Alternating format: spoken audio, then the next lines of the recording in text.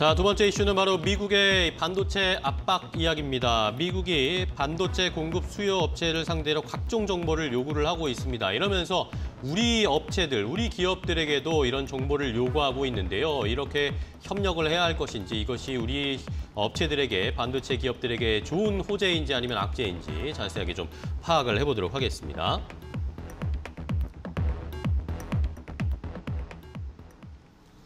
자, 두 번째 이슈는 역시 뭐 반도체와 관련된 이야기입니다. 우리 시장의 가장 중요한 업 sector고 업종인데 자, 미국과 뭐 상호 협력을 하는 건 좋은데 이런 정보까지 뭐 수급 정보까지 다 빼서 다 알려달라 이런 식의 어, 이야기들이 나오니까 우리에게 좀 부담스러운 것도 있습니다. 어쨌든 우리도 어, 우리 내부적으로 실리를 따져야 되는 상황이다 보니까 이게 도대체 어떤 내용인가요? 지금 현재 그 미 상무부에서 24일에 관보를 통해 가지고 일단은 게재한 설문조사가 있는데 여기에 보게 되면 이제 반도체 설계, 제조, 그다음에 공급 유통, 그다음 수요 업체들에 대한 상대로 해가지고 각종 거의 영업 기밀에 해당하는 내용까지 그러니까요. 단에 나라 뭐 재고까지 얼마나 내나 이런 것까지 공개를 요구를 하고 있습니다. 사실 이게 어떻게 보면은 좀 너무하다 싶을 정도의 부분은 있는데 사실 미국이 지금 현재 가장 큰 문제가 바로 이 반도체 수급이 굉장히 주가 굉장히 지금 딸리고 거기다가 지금 공급망, 유통망까지 지금 어느 정도 마비가 되는 상태이다 보니까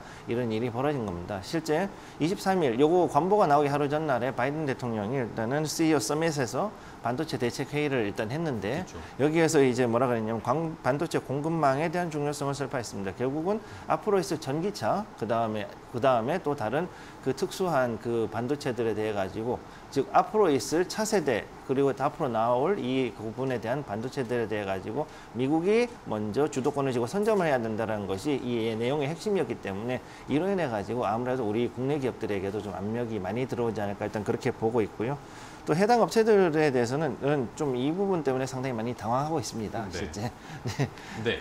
자, 이러다 보니까 우리가 또 이제 계산기 주판화를 튕겨야 되는 상황이 됐고, 자, 이러면은 또 우리 기업들은 뭐 미국과 중국 사이에 끼어 있어가지고 또 괜히 또 새우등 터지는 거 아닌가라는 걱정도 좀 드는 상황인데, 자, 그러면 우리 시장에서 이제 반도체 업체들 어떻게 좀 대응을 해야 될까요? 다음 주에는 또 이제 삼성전자 잠정 실적이 발표가 될 거고, 오늘 새벽이었죠. 마이크론 테크놀로지가 실적 발표를 했는데 뭐 이제 앞으로의 뭐 consensus보다 이 consensus보다 좀 낮은 매출을 기록할 것이다라고 좀 공표를 하면서 주가 많이 빠졌습니다. 어떻게 대응할까요?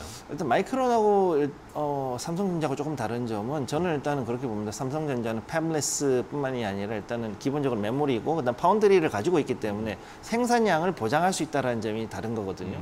그렇다면은 앞으로 지금 현재 사례라면 오히려 지 삼성전자는 앞으로 충분히 더 추가 상승을 할 수 있는 모멘텀 어느 정도 있다라고 보고 있고 네. 그다음에 또 어느 정도 미리 빠졌기 때문에 지금 충분히 더 올라갈 수 있다고 보고 있습니다.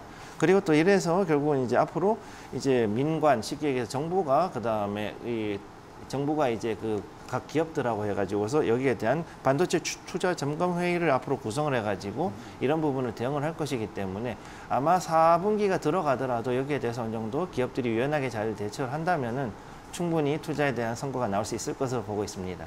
네. 자 그렇다면 뭐 대형주들은 이런 상황이고 중소형주들 중에서도 우리가 좀 옥석을 가려봐야 될까요? 네, 지금 현재 그 전체적으로 소부장들이 많이 좀 가라앉았죠. 그쵸. 그 주가는 많이 가라앉았는데 이 중에서 그래도 결국은 실적은 거짓말을 하지 않기 때문에 실적이 좋- 좋은 주들을 관련해 가지고 어느 정도 차가 찾아서 가는 게 필요하고요. 그럼 여기에 있을 때 앞으로 이제 한 1년 이상 상승 모멘텀을 가질 수 있는 쉽게 얘기해서 어느 정도 그 투자가 시, 설비에 대한 투자가 끝나고 공격적인 접근할 수 있는 주들을 좀 봐야 되는데 그러면 어버 반도체라든가 아니면 테스나라든가 아니면 뭐 이제 뭐 이런 IA 혹은 SFA 반도체 이런 종류 여러 가지 종류의 이런 관련된 소부장 관련주들이 있으니까 여기에서 옥석을 가리시고 그래가지고 접근하시면 괜찮을 것으로 보입니다. 네, 좋습니다.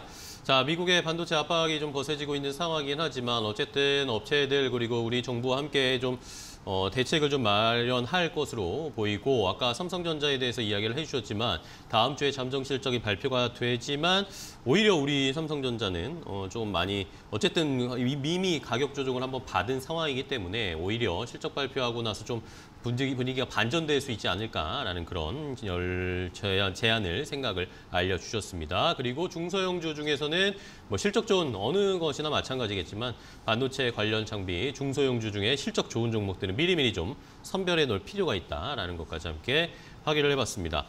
자 이렇게 오늘 김선규 소장과 함께 이야기 나눠봤습니다. 오늘도 또 좋은 insight, 좋은 이슈 해석해 주셔서 감사하고 다음 시간에 또 뵙도록 하겠습니다. 고생 많으셨습니다. 감사합니다. 고맙습니다.